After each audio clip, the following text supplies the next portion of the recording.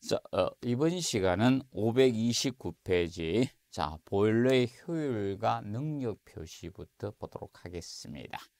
자, 먼저 보일러의 출력과 관련해서 어, 보일러 마력 부분을 다루고 있죠. 그래서 자, 1 보일러 마력 개념을 여러분들이 자, 알아두시면 됩니다. 자, 이것은 어, 건축 설비의 종합 문제 나오면서 지문으로 한번 언급이 됐었습니다. 그래서 1보일러 마력이라는 것은 자, 1시간입니다. 1시간에 자, 이제 100도씨 물입니다. 100도씨 물 자, 15.65kg을 15.65kg을 어, 전부 어, 어, 전부 전기로 정발시킬 수 있는 능력입니다. 전기 정발시킬 수 있는 자 능력을 우리가 1보일러 마력이라고 칭합니다. 1보일러 마력 기준 알아두시고 그러면 1보일러 마력은 우리가 정리하실 것이 이것을 상당 정발량 또는 뭐 한산 정발량이라고도 합니다. 상당 또는 한산 정발량 정발량으로 바로 15.65kg per hour다 이겁니다. 아, 그래서 어, 요걸 간단히 표현하면 바로 이겁니다. 예. 그래서 백도심을 15.65kg 전부 정리 이것을 이렇게 표현할 수가 있어요. 상당 정발량. 그러면 전기가 가지고 있는 총 엔탈피를 백도시 물에서 백도시 전기로 어, 정발할 수 있는 능력으로 바꿔준 것이 상당 정발량입니다. 이렇게 나타낼 수가 있고요.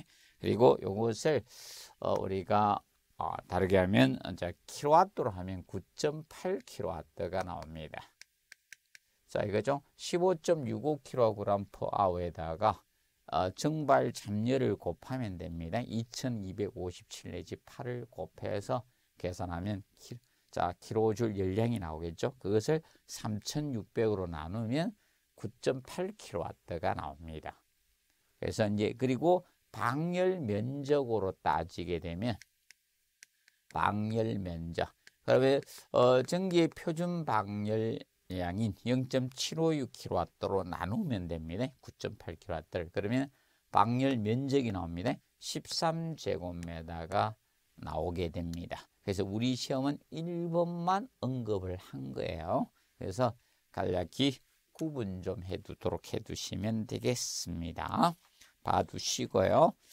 자 그리고 530페이지 보면 보일러 효율 개념 나오죠.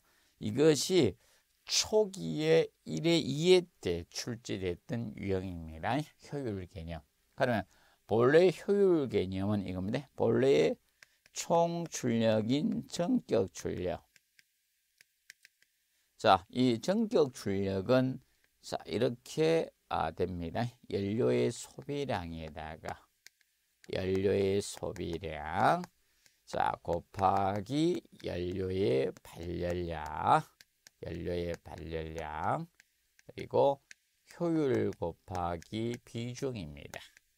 효율에다가 비중을 곱해서 우리가 전격 출력이 총 출력이 나와요. 자, 그런데 여기에서 효율을 X로 두면 되겠죠. 미지수 아니면 연료의 소비량을 X로 둘 수도 있고 또는 연료의 발열량을 X로 둘 수도 있겠죠. 그래서 무엇을 구할 수 있죠. 그래서 효율하고 연료 소비량 구하는 문제가 어, 두 문제가 계산 문제로 나왔던 겁니다. 그러면 이제 효율이 앞으로 갑니다. 효율이 앞으로 빼게 되면 전체 X 이꼬로 전격 출력이잖아요. 그러면 전격 출력을 분자에다 두고 나머지로 나누면 되겠죠. 연료의 소비량 자 곱하기 연료의 발열량이죠. 발열량 아, 곱하기 비중을 곱해서 자, 이것을 백분율 한 것이 효율 개념이 되는 거예요. 자, 또는 연료의 사용량이 나가면 효율은 들어오면 되겠죠. 예, 그, 그 개념을 우리가 알아두도록 해두시면 되겠습니다. 자, 그리고 세 번째 보일러 부하 개념이 나오죠. 자, 보일러 부하. 자, 보일러 부하에서 이 보일러의 전제 조건을 먼저 정리하겠습니다. 여기서 보일러는 어, 급탕하고 난방을 동시에 하는 거예요. 급탕하고 난방을 동시에 하는 보일러일 때입니다. 보일러일 때. 자, 그러면 그 첫 번째, 자, 보일러는, 자, 난방부하가 있겠죠? 난방부하. 난방의 에너지가 소비되죠? 그러면 난방부하가, 자, 몇 킬로와트입니까? 그러면 난방부하는 다음과 같이 계산하시면 됩니다. 라지에테의 면적인 방열 면적에다가 자 표준 방열량을 곱해서 계산하시면 됩니다. 표준 방열량. 자, 그런 표준 방열량은 시험에 주어지지 않습니다. 표준 상태에서 얼마만큼의 열량을 방출하냐 그것이 표준 방열량이 돼요. 그 표준 방열량은 자 전기일 때는 0.756kW가 됩니다. kW. 자, 온수일 때는 0.523kW의 개념이 됩니다. 523kW 표준 방향을 곱해서 계산하시면 되겠습니다. 자, 그리고 두 번째, 자, 급 탕부하. 뜨거운 물을 끓이는데 에너지가 소비되겠죠? 자, 급탕부하는 뭐 이렇게 계산이 되어 주시면 되죠. 자, 질량 급탕량, 공급량인 급탕량에다가 자, 급탕량 곱하기 비열 곱하기 온도 차이를 하셔가지고 자, 나누기 3600을 해서 급탕부하를 계산할 수가 있습니다. 자, 1kW를 열량으로 나타내면 1kW를 열량으로 되면 3 600kJ 개념이 됩니다. wow. 그래서 3600으로 나누어 준 겁니다. 킬로와트로 환산하기 위해서. 자, 그리고 세 번째. 자, 배관 부하겠죠? 배관. 또는 뭐 손실은 넣어도 되고 빼도 됩니다. 배관 부하가 있고. 자, 배관 부하는 주어집니다. 왜 그런가 하면 배관의 어, 피복 조건이나 배관 길이라든지 배관이 어떤 상태에 처했냐에 따라서 손실은 달라질 수밖에 없는 거예요. 그래서 배관 부하는 주어진다. 그리고 예열 부하. 자, 이 예열 부하고 두 가지는 주어집니다. 기억하시면. 그래서 볼루 부하에는 이 네 가지 부하가 있습니다. 그러면 이때 출력적인 측면을 살펴보도록 합니다. 그럼 먼저 첫 번째로 내청미 출력. 오리지널로 사용하는 출력인 청미 출력은 두 가지 요소만 고려하면 됩니다. 난방부하하고 난방부하고 플러스 급탕부하 두 가지만 고려하면 청미 출력 개념이 됩니다.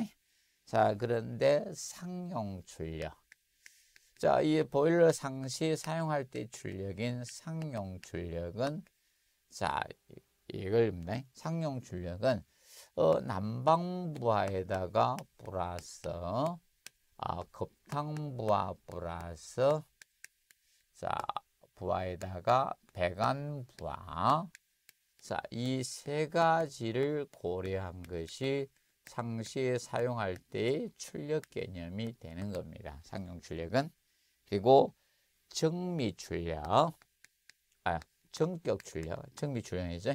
그래서 청소년 정격 출력은 자 난방부하 플러스 급탕부하 그리고 배관부하, 배관부하에다가 아 이제 예열부하까지 합친 것이 바로 정격 출력 개념이 됩니다. 자, 이때 이걸 다르게 나타낼 수 있겠죠. 전격 출력은 뭐 상용 출력에다가 상용 출력에다가 예열 부하를 합해서 계산할 수도 있겠죠. 이렇게. 자, 그리고 어, 정미 출력에다가 정미 출력에다가 자, 배관부하고 예열부하를 합해서 계산할 수도 있습니다. 예, 그렇게 계산할 수 있겠죠. 정리해 두시고. 그래서 여러분들이 최근 시험에서는 이거죠. 상용 출력하고 전격 출력을 아, 알고 있느냐 모르고 있느냐 이것을 테스트하는 것을 많이 출제를 했던 겁니다. 그래서 기억을 해 두시고요. 그 다음에 이제 앞에서 하나 봤더니죠. 전격 출력은 연료의 소비량이다. 연료의 발량 곱하기 효율 곱하기 비중의 곱으로 나타낼 수도 있죠. 그래서 혼돈하지 않도록 정확히 여러분들이 학습을 해 주시면 됩니다. 아직 이거 연관해서 계산 문제는 안 나왔습니다. 그러면 혹시나 계산 문제가 나오면 난방부하를 계산할 문제가 나올 가능성을 대비해 주시면 됩니다. 그래서 여러분들이 표준 방열량을 암기를 해 두셔야 됩니다. 그래서 페이지 거기 531페이지 보시면 방열기 설비에서 방열기는 열을 방출하는 기구 관련된 설비가 방열기죠. 그럼 방열기는 여기 표준 방열량이 나오잖아요. 그럼 표준 상태에서 얼마만큼의 열량을 방출하느냐 그것이 표준 방열량이죠. 표준 방열량. 그래서 표준 방열량에서 우리가 알아두실 거는 뭐 차이가 있다는 거죠. 전기하고 온수 난방일 때 차가 있다. 그래서 이제 전기하고 온수일 때, 자, 이 표준 방열량 상태를 우리가 봤을 때 전기는 0.756kW가 되더라 이거 면적당. 그런데 이걸 뭐 와트로 하면 756W가 되겠죠. 음. 그리고 온수는 0.5 2 3 kW라는 겁니다. 면적당. 그래서 이것을 뭐 7, 523와트, 523와트 개념이 되더라 이겁니다. 그런데 이때 어, 거기 열매 온도라고 이제 열매체 온도다. 그러니까 여기서 열매는 또 딸기 이런 거, 앵두 이런 거 하시면 안 됩니다. 열매체 온도다 이거죠. 그러면 어, 전기일 때는 102도씨 기준을 잡겠다는 게요. 표준 상태가 온수는 80도씨고 그리고 실내 온도를 줄여서 실온이라고 하는 거예요. 실내 온도. 실내 온도가 줄여서 실온이라고 하는 거예요. 그러면 18.5도를 기준 잡았을 때라는 겁니다. 5도씨. 요 표준 상태에서 열량을 요만큼 방출하더라 에너지를 이겁니다. 그러면 온도가 다르면 열량도 달라지는 거예요. 표준 상태. 그래서 이것을 주어지지 않습니다. 여러분들이 암기를 하셔야 되는 거다. 그래서 그걸 명심을 해 두시기 바랍니다. 자, 기억을 해 두시고. 자, 그 다음에 532페이지 상당 방열 면적 나오죠. 그래서 이게 3회 때 계산 문제가 나온 거예요. 방열 면적 계산한 문제. 그러면 자, EDR 방열 면적, 열을 방출한 면적이 얼마나 필요할 건가? 자, 방열 면적을 계산할 때, EDR을 계산할 때, 난방부하는 손실 열량이 합계죠. 난방부하를, 난방부하를 표준 방열량으로 나눠서 계산하는 게, 그러면 3회 때 기출할 때도 이거 안 주어집니다. 표준 방열량은 주어지지 않는다. 그래서 여러분이 암기를 해 두셔야 됩니다. 표준 방열량. 그러면 난방반은 손실 열량이 합계입니다. 그렇기 때문에 치등 열량은 고려하지 않는다는 점을 기억하시면 됩니다. 그러면 인체위험 발생 열량이나 있죠. 일사이양 거 이런 거 고려 안 된다는 게 왜? 손실된 열량이니까 맞죠?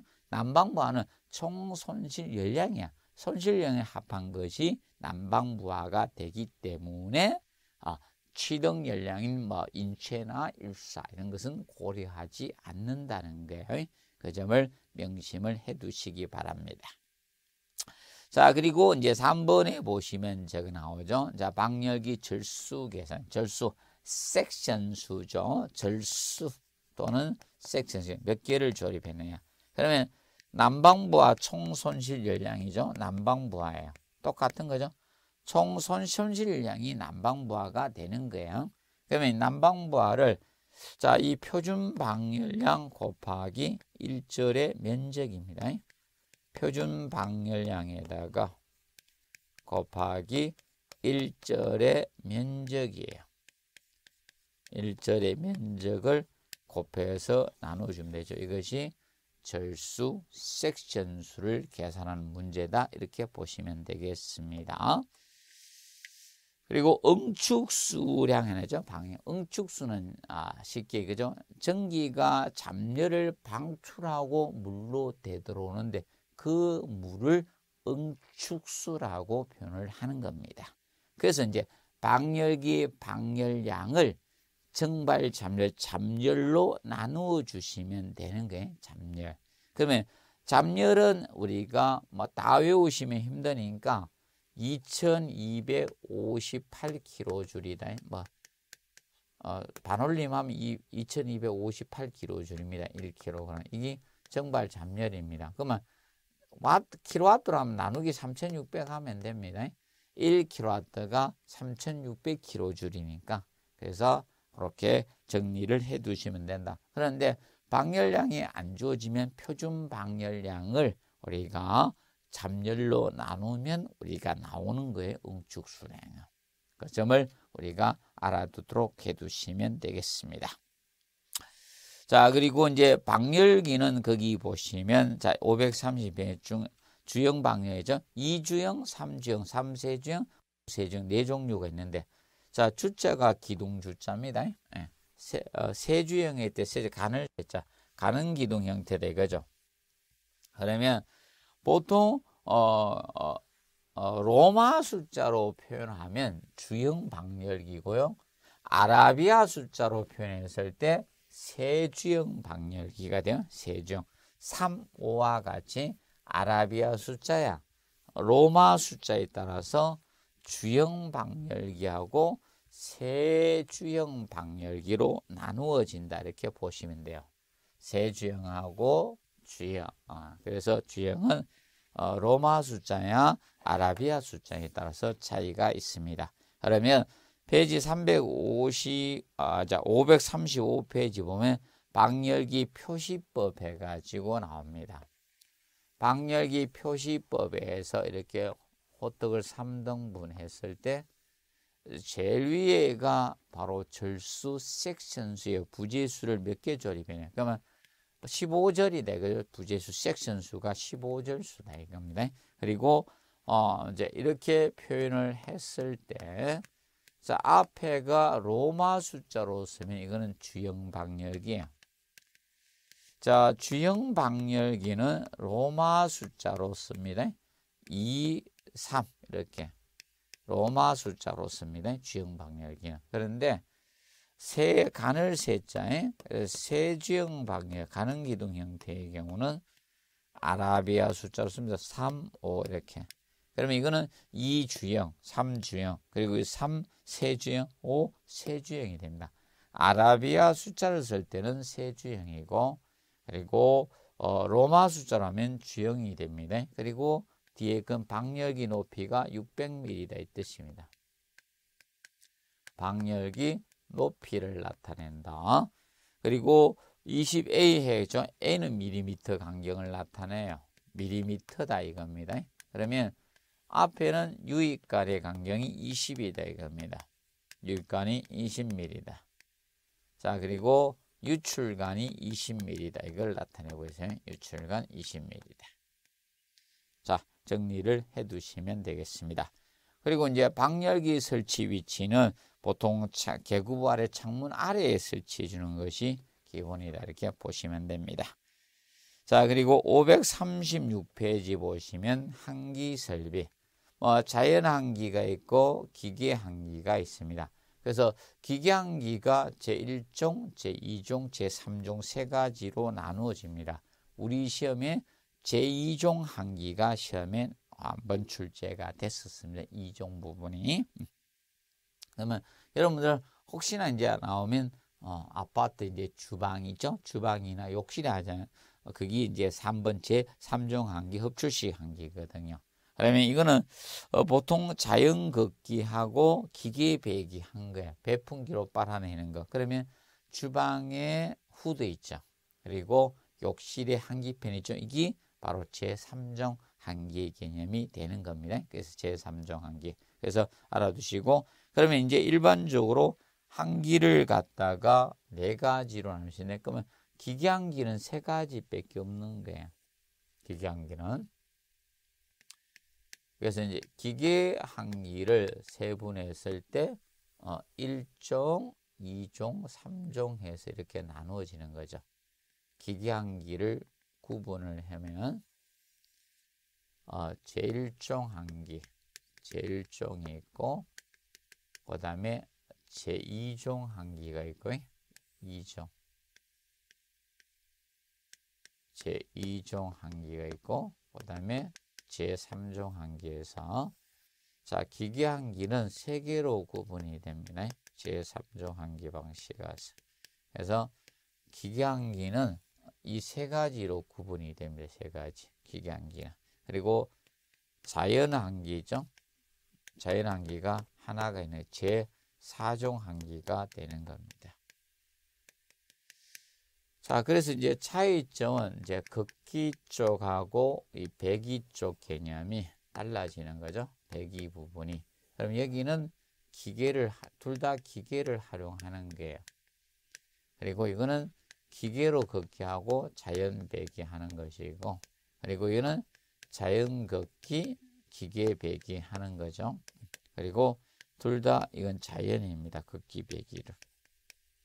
그러면 기계 쪽에 그러면 극기 쪽의 기계를 갖다가 송풍기라고 하는 거예요. 송풍기. 그리고 배기 쪽의 기계를 배풍기, 배풍 뭐 송풍기 이렇게 써요. 그래서 이렇게 나누어지는 겁니다. 그래서 우리 시험은 이종이 나왔어요. 그럼 이종은 보통 반도체 공장이라든지 공장의 무균실 같은 데 쓰는 거예요. 반도체 공장이나 공장에 우리가 무균실 같은데 이걸 쓴다 이렇게 보시면 됩니다. 그리고 어 그래서 이제 이거는 이제 무창청 건물이라든지 무창청 건물이나 아니면 저기죠 어, 어 저런 경우에 있어죠. 어, 보, 어 이제 저 어디를 향한 어, 어 보일러실든 특히 이제 병원에 수술실 창문이 있으면 안 되잖아요. 병원의 수술실 같은데 이런 쪽에 제일 중요합니다. 그럼 여러분들이 자 주방이나 욕실이 겁니다. 주방이나 욕실 개념이 자 보통 주방의 욕실에는 어, 이제 보통 압력이 떨어질 수밖에 가스가 생기다 보니까 그래서 외부에서 공기는 잘 들어오는데 밖으로 잘 안 빠져나가. 그래서 후드나 한기팬을 빼서 돌려야 됩니다. 그리고 그거는 여러분들 일반 거실 있죠? 일반 거실, 침실들 이런 것이 어, 자연 한기에 해당이 된다 이렇게 보시면 됩니다. 자 그리고 537페이지 보시면 공동주택 및 다중이용시설의 한기설비 기준 등 나오죠. 그래서 뭐 신축 또는 리모델링하는 다음 갖고 해당되는 주택이나 건물의 0.5회 이상 시간당 0.5회 한기가 되면 됐나요? 시간 한기의 수가 0.5회다는 거예요. 신축 이런 공동주택, 신축이나 리모델링 공동주택의 한기수는 0.5회 이상으로 대주시면 됩니다. 이때 세대수 기준이 법령이 바뀌었죠. 그래서 이거는 30, 100세대가 아닌 30세대 이상일 때 기준 하루지. 자, 30세대 어, 이상의 30세대 이상의 주택 개념인데 주택. 자, 그리고 두 번째로 주택을 주택 이외 시설하고 같이 짓죠. 그래서 이제 주상보건 이것도 30세대죠. 아, 주상보건 30세대 이상입니다. 자, 그래서 어, 명심할 것 30세대 이상 되면 어, 시간당 한 개수가 0.5회 이상을 우리가 어, 유지되도록 해주시면 되는 겁니다.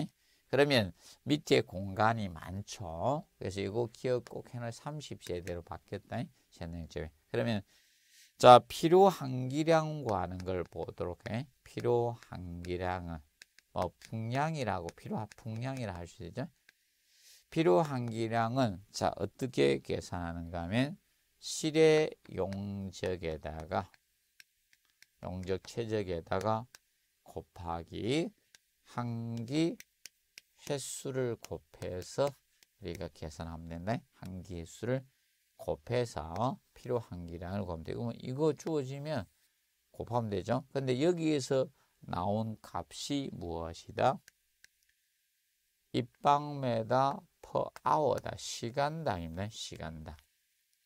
그러면 분당으로 하면 나누기 60을 해주면 돼요. 나누기 60. 나, 그러면 리틀 퍼민 개념이죠. 근데, 자, 이겁니다.